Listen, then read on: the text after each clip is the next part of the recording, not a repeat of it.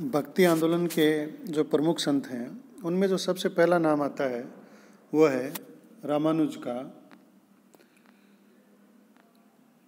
ये वैष्णव धर्म के अनुयायी थे और विशिष्टाद्वैत दर्शन के परिणत थे। सगुण ईश्वर में विश्वास करते थे। ये प्रथम संत थे जो ज्ञान के स्थान पर भक्ति को मुक्ति का साधन मानते थे। इनका जन्म तमिलनाडु में हुआ। रामानुज ने अपने गुरु पर यादव प्रकाश के कांची में वेदांत की शिक्षा ग्रहण की। इस तरह से इन्होंने जो दक्षिण भारत है, उसमें भक्ति आंदोलन का प्रचार प्रसार किया और ये प्रथम संत थे, जिसने ये बताया कि ज्ञान के स्थान पर भक्ति से भी मुक्ति का प्राप्त की जाती है। दूसरे जो संत हैं, वो निम्बार्क ये रामानुज के समकालीन थे।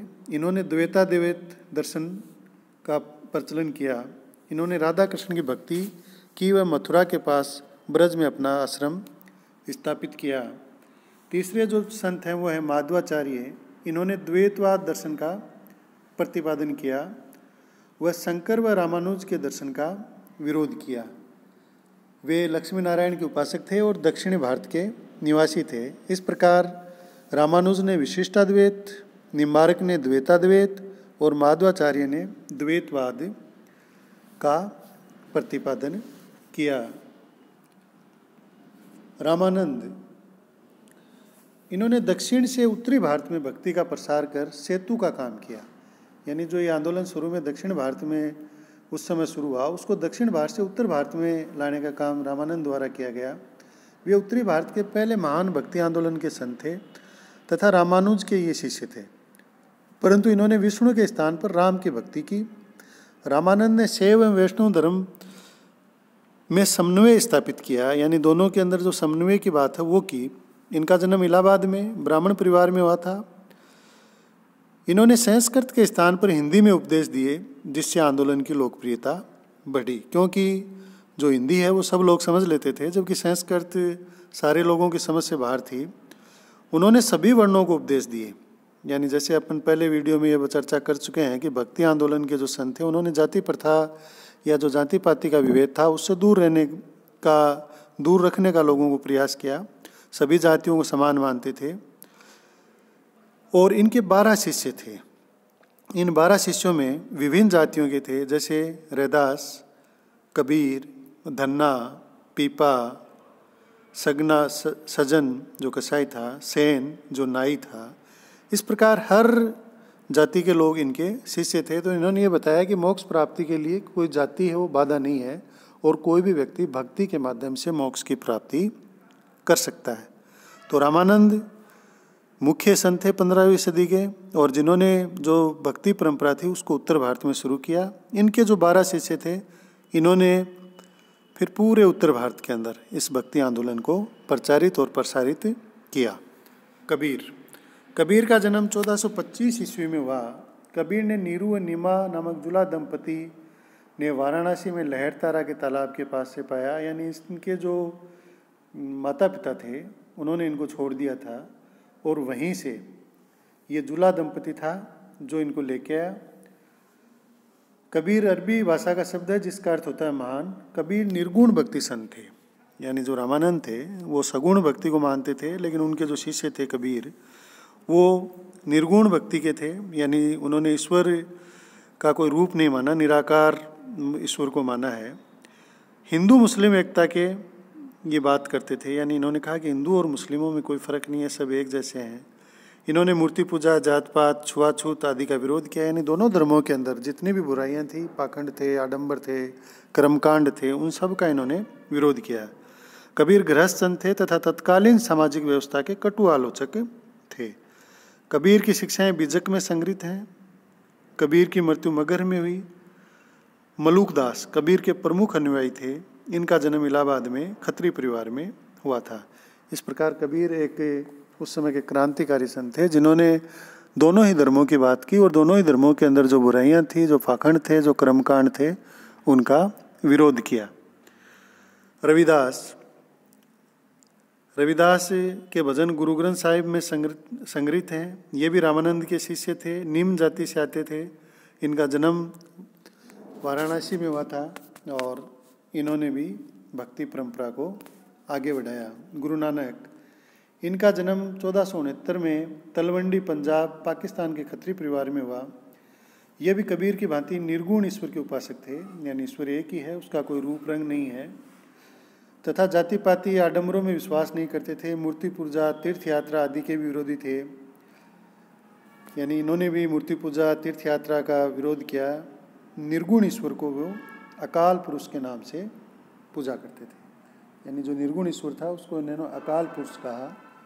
तो जितने भी इस समय के संत हुए हैं, जैसा अपन पहले पढ़ चुके हैं, कि इन्होंने ये कहा है कि ईश्वर के नाम अलग हैं, लेकिन वो है ही। कि उसको विभिन्न व्यक्ति अलग अलग नामों से पूछते हैं। दादू, पंद्रह ईस्वी में इनका जन्म हुआ। दादू दयाल निर्गुण भक्ति परंपरा के संत थे। इनका जन्म पंद्रह में अहमदाबाद में हुआ। कुछ विद्वान उन्हें ब्राह्मण कुछ जुला परिवार के मानते हैं। ये कबीर के सर्वश्रेष्ठ शिष्यों में थे। राजस्थान के नरेना में इनकी मुख्य गति है। इस मत को मानने वाले राजस्थान के अंदर मिलते हैं मुख्यतः। दादू ने भी मूर्ति पूजा, जाति प्रथा व कर्मकांड का विरोध किया। बाद में दादू पंथ की पाँच शाखाएँ हो गई और ये शाखाएँ थी खालसा, विरक्त उत्तरोध खाकी, नागा। अकबर ने दादू को धार्मिक चर्चा के लिए एक बार फतेहपुर सीकरी भी बुलाया था। दादू पंथ के जो सत्संग स्थल हैं, उनको अलग दरीबा के नाम से जाना जाता है। और दादू की जो शिष्य परंपरा थी, उसमें एक सौ बावन मुख्य शिष्य माने जाते हैं, जिनमें से सौ एकांतवासी थे। शेष बावन शिष्य बावन स्तंभ कहलाने लगे तो तथा बावन स्थानों पर दादू द्वारे बनाए गए। इस तरह से दादू दयाल ने भी निर्गुण भक्ति की परंपरा को आगे बढ़ाया। चैतन्य महाप्रभु चैतन्य महाप्रभु का जन्म चौदह में नदिया गाँव में ब्राह्मण परिवार में हुआ और शिक्षा पूरी करने के बाद में इन्होंने विद्यासागर की उपाधि की। बंगाल के अंदर गौड़ीय वैष्णव धर्म की इन्होंने स्थापना की और भेदाभेद संप्रदाय भी इनके द्वारा चलाया गया। तो ये भी एक प्रमुख संत थे जो जिन्होंने भक्ति पर बल दिया, प्रेम और भक्ति पर बल दिया। भक्ति गीतों को रचा मीराबाई। मीराबाई भक्ति काल की महान महिला संत थी। इनका जन्म कुड़की मेड़ता में हुआ। इनके पिता राजा रतन सिंह राठौर थे। इनका विवाह राणा सांगा के पुत्र भोजराज से हुआ और भोजराज की मृत्यु के बाद ये कृष्ण भक्ति में लीन हो गई, यानी सगुण भक्ति परंपरा की महान संत थी। कृष्ण को अपना पति माना तथा राजस्थानी तथा ब्रज भाषा में गीतों की रचना की। सूरदास, ये अकबर व जहांगीर के समकालीन थे तथा जन्म से ही अंधे थे, सगुण भक्ति के उपासक थे कृष्ण की भक्ति किया करते थे। इन्होंने ब्रज भाषा में सूर सागर, सूर सुरावली तथा साहित्य लहरी की रचना की। तुलसीदास, ये भी सगुण भक्ति को मानने वाले थे और इन्होंने राम की पूजा की, अवधि भाषा में रामचरित्र मानस की रचना की। इसके अलावा भी इन्होंने बहुत से ग्रंथों की रचना की। जिनमें दोहावली, गीतावली, कवितावली, विनय पत्रिका, वैराग्य संदीपनी, बरवे रामायण इनकी प्रसिद्ध रचनाएँ हैं। तुलसीदास अकबर के समकालीन थे। इन संतों के अलावा बल्बाचार्य जो कि कृष्ण देव राय के समकक्ष थे, इन्होंने वैष्णव संप्रदाय की स्थापना की, यानी ये भी सगुण भक्ति के उपासक थे। और ये कृष्ण भगवान के श्रीनाथ जी के नाम से पूजा करते थे, तथा मूर्ति पूजा पर बल देते थे। औरंगज़ेब के समय श्रीनाथ जी की मूर्ति को उदयपुर पहुँचा दिया और आज द्वारा में वो मूर्ति प्रतिष्ठापित है। इस प्रकार से इस समय अनेक भक्ति संत हुए, जिन्होंने भक्ति परंपरा को आगे बढ़ाया। दोनों ही प्रकार के भक्ति संत थे, जिनमें कुछ सगुण भक्ति, कुछ निर्गुण भक्ति, यानी कुछ ऐसे भक्त थे जो ईश्वर के किसी रूप की पूजा करते थे। इनमें मुख्यतः राम और कृष्ण की पूजा होती थी और कुछ संत ऐसे थे जिनमें कबीर और नानक थे। जिन्होंने निर्गुण जो भक्ति की परंपरा थी, उसको आगे बढ़ाया। इन्होंने ये कहा कि ईश्वर का कोई रूप नहीं होता और उसकी पूजा ये लोग करते थे। इन सभी ने जाति प्रथा का विरोध किया और विभिन्न जातियों में समन्वय का प्रयास भी किया। धन्यवाद।